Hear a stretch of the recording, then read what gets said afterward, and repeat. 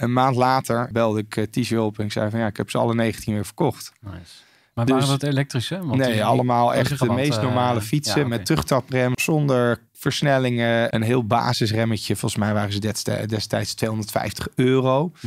Maar ja, ik verkocht ze voor 1000 dollar. En de manier waarop ik ze verkocht was eigenlijk gewoon door ze op hele prominente gave plekken te zetten midden in de stad. Met een kaartje, een businesskaartje onder het zadel. Bel mij als je geïnteresseerd bent om meer te weten over deze fiets.